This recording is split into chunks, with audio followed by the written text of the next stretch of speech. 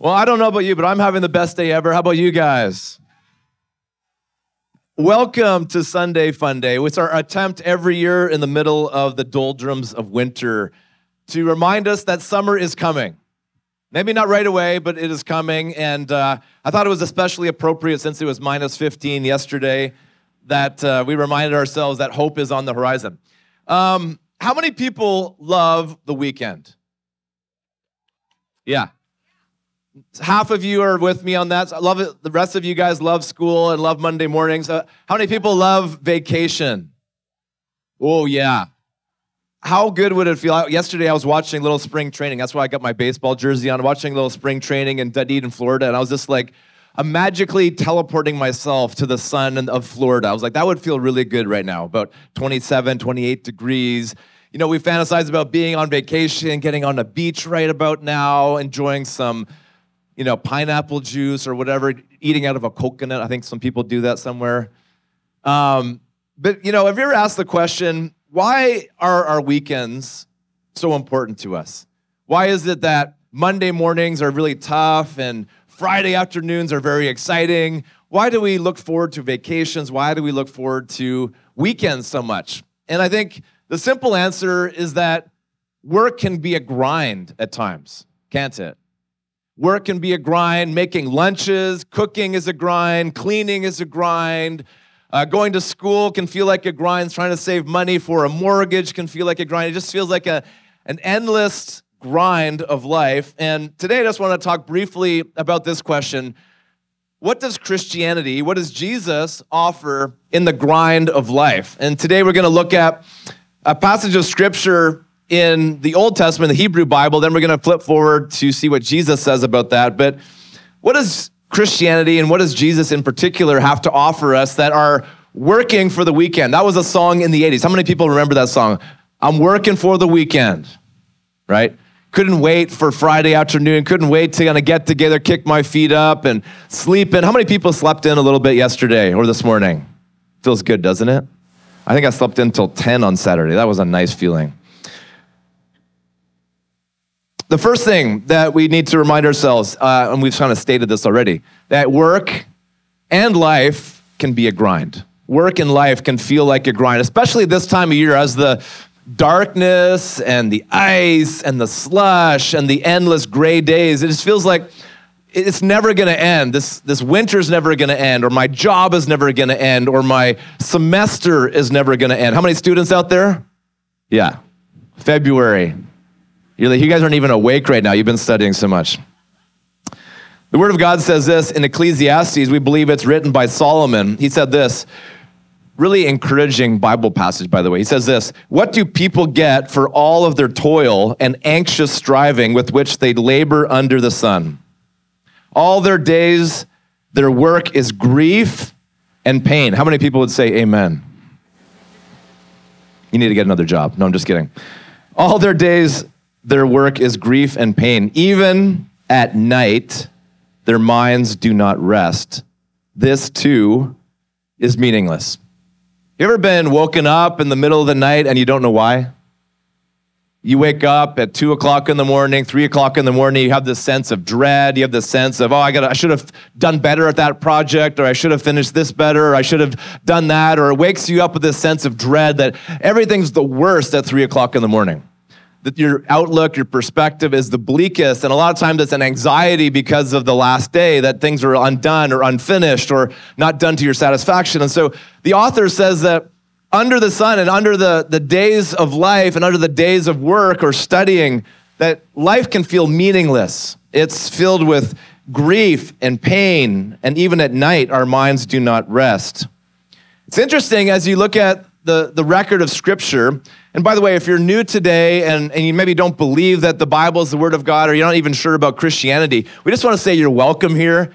Uh, Christianity does offer answers to questions like this. And so, even if you don't believe in the Genesis account, and even if you don't believe in some of the things we're talking about, I think you'll find that this is very relevant to your life in the middle of the wintertime, the middle of February, as it feels like winter's never going to end, or perhaps the struggle of life will not end. But in the story of God, God creates in seven days, this cycle for us. And that's why we have seven days. We have this seven day cycle of, of a rhythm that our Creator mapped out for us. And flipping over to the book of Exodus, chapter 20, God actually commands time for rest. That in the story, as God was forming a group of people, the Hebrew people, to be the children of God, that God actually says and commands that the seventh day has to be a day set apart exclusively for rest. It's interesting that of all the things that God could have commanded, He could have said, work hard and be productive. And, and yet, God, in the very beginning of the story of the people of God, He says, I want you to designate at least one day just to rest. And this is what God says about that. He says, Remember the Sabbath day by keeping it holy. Six days you shall labor and do all your work, but the seventh day is a Sabbath to the Lord your God. On it you shall not do any work, neither you, nor your son or daughter, nor your male or female servant, nor your animals, nor your foreigners residing in your towns. For in six days the Lord made the heavens and the earth, the sea, and all that is in them. But he rested on the seventh day. Therefore the Lord blessed the Sabbath day and made it holy. Now, if you believe the story, we understand that if God's got the power to put the sky in motion and the, the solar uh, the solar planets in motion and the, and the sun in the sky and the moon in the sky and to form all the animals on the air on the ground and in the waters if we understand that he has that kind of power it probably follows that god does not need to rest and yet he did and he did that for the simple reason that he was creating a rhythm for you and for me, a rhythm for us as we think about life and the grind of life, that it's important that we spend some time resting, not working, not being productive.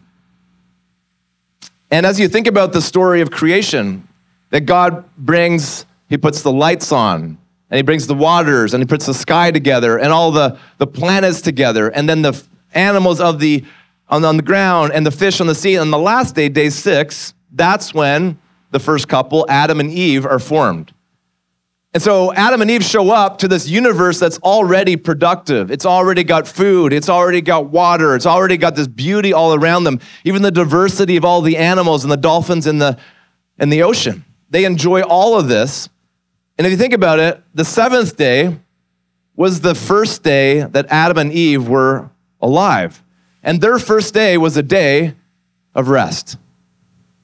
The first day of the first couple was a day of rest. And I think in our Western world, we've got it opposite. We've got the song, we're working for the weekend. Monday to Friday is the grind, and then we recover on the weekends. And yet, in the rhythm of God, God asks us to rest first and then enjoy God, enjoy our blessings, and then to work out of that rest. We've got it the exact opposite. We work, work, work until exhaustion and try to catch up with some sleep on the weekend. But God's pattern is to enjoy that first day of rest, to catch our breath, to recreate, to enjoy, to have our best meals, to enjoy the goodness of God's creation. A couple of weeks ago, we have an annual tradition in the McGregor house. We throw a Super Bowl party. How many people love the Super Bowl? Even if you don't like the game, you like the halftime show, or if you live in the United States, you get the great commercials. We don't get good commercials in Canada. I'm still bitter about that, but I digress. Every February for the last 20 some years, my wife and I have had people over, and it's just an excuse for me to eat chicken wings, really, was what it comes down to. The funny thing is that everybody that was there, none of us were Kansas City Chiefs fans. None of us were San Francisco 49ers fans. And every year, my team is not in the Super Bowl. I'm a Dallas Cowboys fan, and we are long suffering fans. We haven't been in the Super Bowl since the 90s. So it, it, the game is meaningless because it's just an excuse to eat some good food and to be around some good people. And it just so happens to be in the darkest month of the year. So it's always a good time to get together. How many people love a good party? Don't you? an excuse to have good food with good people. And that's a little bit of what we're reminding us of that it's important that we remember the goodness of God, that we take time to celebrate because without taking time to celebrate, life can just feel like a meaningless grind. Changing diapers, cleaning the house. I spent some hours, uh, you'll be really proud of me, ladies. My sons and I, we cleaned the house on Friday when my wife was out. And yeah, the one time a year I did it, so I'm just gonna brag on myself right now. But 30 minutes after we spent all this time vacuuming and cleaning and sweeping and mopping the floor, somebody shall name, name nameless on the front row put tortilla chips all over the kitchen floor. We would spend hours meticulously cleaning the floor, and then 30 minutes later, there's a mess. And, and so I identify with Solomon, who says that life is meaningless. Cleaning is meaningless. Changing diapers is meaningless. Studying for tests seems meaningless at times.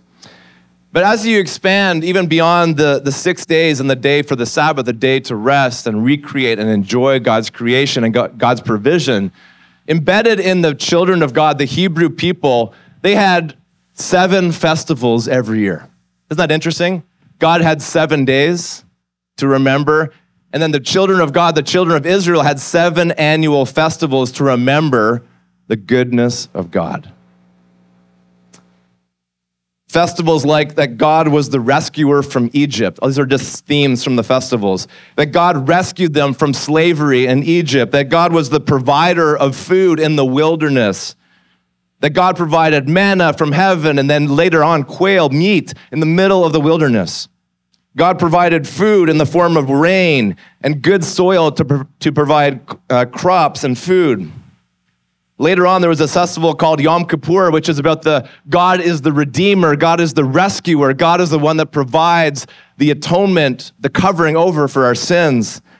And then later on, there's something called Sukkot, which is God provides shelter for the children of God in the middle of the wilderness. And so, all of these rhythms, these seven festivals every year, was a very rich tapestry to remind the people of God as an excuse, kind of like the Super Bowl party, an excuse to be together an excuse to remind us that life is not just work and toil and meaningless work, but that there's someone to look up to. There's a story that we're all a part of. And the powerful part of that is that God asked them to give money for these festivals. That part of their tithe, out of their increase of what God provided in the form of animals and crops, were dedicated so that they could have this big party.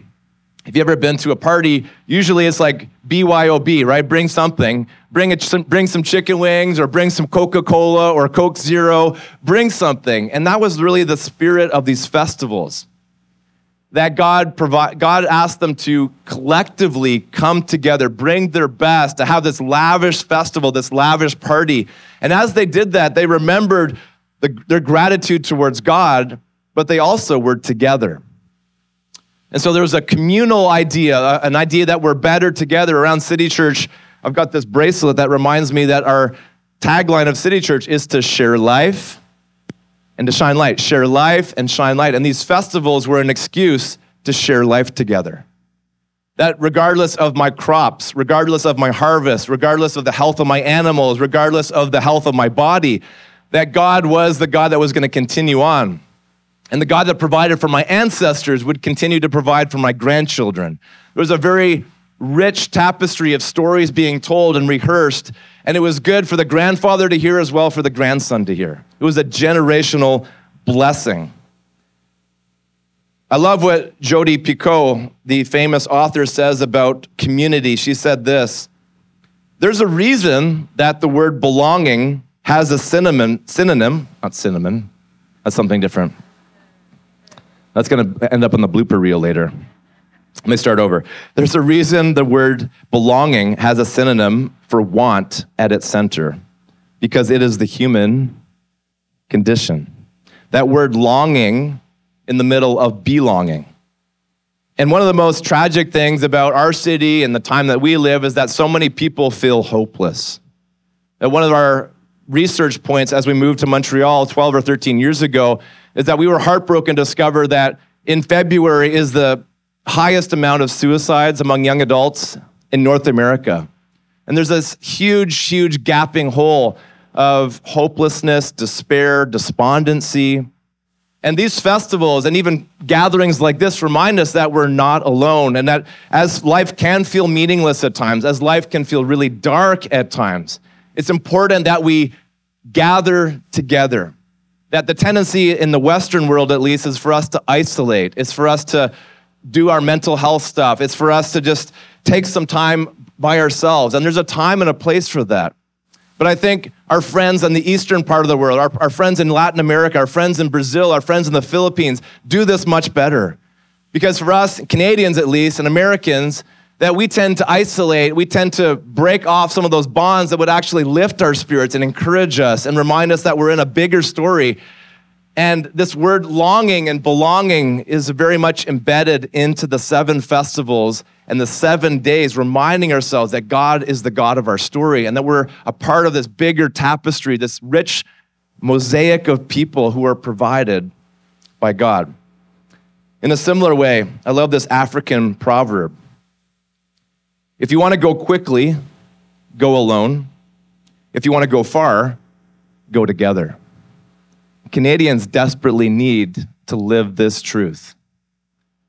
One of the heartbreaking statistics of, of suicide and, and things of that nature. A couple of years ago, I was working with a hockey coach, and I'd been a chaplain at the McGill hockey team, and there was all this uh, really we, we had a really great season together. And I was just heartbroken that as the season was about to begin, I discovered that the head coach of the team tragically took his own life.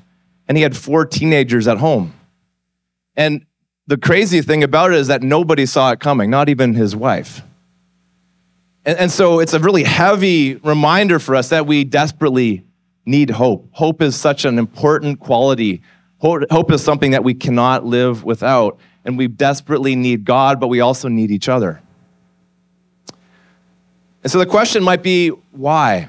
Why did God take the time to institute these festivals? Why did God want us every seven days, at least one day, to set it apart, to worship, to, to recreate, to look up instead of just looking down at our circumstances? And I think one of the words is remember. Remember as our health is declining and as relationships with your parents are strained or maybe in your marriage, as your grades are not where you want them to be, as work can feel like a grind, it's to remember that God is the God of the heavens and the earth. The God who put the whole universe together, he cares about us. In fact, in the New Testament, Jesus said that I know the hairs that are on your head that God is deeply invested in your story. God is deeply invested in your tears, in your wants, and your ambition, and your dreams. To remember that the same God who put the whole universe together, he cares individually about our needs, and he sees our hurt, and he sees our despondency, and he, he hears our cries for help. He remembers. But I think Another part, maybe that we don't think about too often, that we try to champion within City Church is that we say it like this that we want to be the kind of church and we want to be the kind of people that pass the baton to the next generation. And one of the richness of these traditions was that, again, grandkids would hear from their grandfathers telling the story of the Exodus. And grandmothers would pull their granddaughters together and pull these neighborhood kids together. They would say, Remember that as you're struggling with life, and as you're struggling with health, and as you're struggling in your marriage, as you're struggling to see if God really cares, remember that at one time, God rescued us from 430 years of slavery. Remember, in the middle of the wilderness where there was no food, God miraculously provided. And If He did that then, He's going to do it again. There's a generational impact to come together to celebrate, to remember that God is the God of the heavens and the earth. Gratitude is at the heart of all these festivals gratitude for who God is and what God has done. It's easy for us to remember the gratitude of God as we come together, but as we isolate and as we think about our own circumstances, as I think about my own life, I magnify my fears and God becomes smaller. But coming together for these annual festivals reminds us that God is big and God is good and God is great. Gratitude. Brene Brown wrote this about gratitude. She said, A good life happens when you stop and are grateful for the ordinary moments that so many of us just steamroll over to try to find those extraordinary moments. Life is in moments. Moments. Have you ever t- had some time where you've been sick or maybe been fasting? You haven't been able to eat very much whatever you eat next is the best meal you've ever had. Isn't that true? Or you've had a couple of nights where you've been sick, you haven't been able to sleep well, and you have a, a, a day or a night of sleep with six or seven hours of uninterrupted sleep. It feels like you are the king or the queen of your domain. Isn't that true? Maybe it's just me. Life is in moments. And so, so many times we think, well, life is about going to Thailand or life is about going on a beach in Florida or the Philippines. And, and we love all those things. But we need to take time in the ordinary. That the very thing that sometimes we complain about as parents is our, the work that's involved with raising our kids, and yet God has given us the gift of life. And sometimes we can complain about the chores around our home and yet we remember that years ago we didn't even have our home to ourselves. And now the very thing that we complain about is the thing that God has blessed us with. Isn't it interesting how that happens?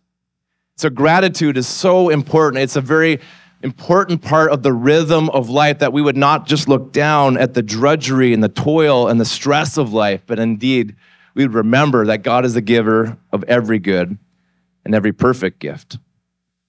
So we've seen that Work in life is a grind. We've seen that God has actually asked us and He's commanded us to rest. And finally, Jesus is the one who brings true rest. Jesus is the one who brings true rest for us. This is what Jesus said in Matthew chapter 11, verses 28 to 30. Jesus said, Come to me, all you who are weary and burdened, and I will give you rest. Take my yoke upon you and learn from me. For I am gentle and humble in heart, and you will find what's that word? You'll find rest. Rest for your body is one thing, but look what he says rest for your souls. For my yoke is easy and my burden is light. If you'll give me the permission just to read that one more time, just to let it sink in. Come to me, Jesus says to all of us right now, all you are weary and burdened, and I will give you rest. Take my yoke upon you and learn from me. For I am gentle and humble in heart, and you will find rest for your souls. For my yoke is easy and my burden is light. You know what's so incredible about this statement, this invitation that Jesus is making? When we think about God, a lot of times we think about a God with a gray beard in the sky, kind of a faceless person. He's, we understand he's powerful, we think he's mad at us, but he's just so far away from us that we can't even really picture him. We, we, we can't really, it's hard for us to pray to him. It's hard for us to think about him because he is sort of a faceless, nameless deity in the sky. But what's so fascinating about Christianity is that God Himself came to us. That if anybody knows the meaninglessness of work, it's Jesus. If anybody knows family drama, it's Jesus. If anyone knows the fatigue of work, it's Jesus. If anyone knows about betrayal, it's Jesus. Anyone else knows about the struggle of life against life and death and good and evil, it's Jesus. If anyone knows about death, it's Jesus. And what makes this invitation so extraordinary is that this is not a God who doesn't know what it's like to work, what it's like to struggle, what it's like to feel like an endless February of life and existence. Jesus understands and he empathizes and he understands everything about the struggle that you and I find ourselves in. The struggle of relationships, the struggle of work, the struggle of pressure, the struggle of anxiety. Jesus experienced all of that. And so Jesus says, knowing all that, knowing that I feel your pain, knowing that I feel your struggle, knowing that I feel the meaninglessness that you are experiencing right in this moment, he says, I invite you to have rest. Now, this work yoke is kind of a confusing thing. He says, Take my yoke upon you. I'm going to put a picture on the screen behind me. This is a picture of a yoke.